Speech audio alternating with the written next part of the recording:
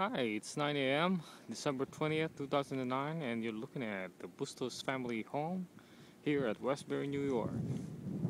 As you can see, it's uh, day one after the blizzard of 09, started yesterday afternoon, and has uh, accumulated about 19, I mean, uh, 14 inches of snow, and uh, this is uh, what's left of it five days before Christmas, and we'll definitely having a white Christmas, huh? So it's uh, time to start cleaning.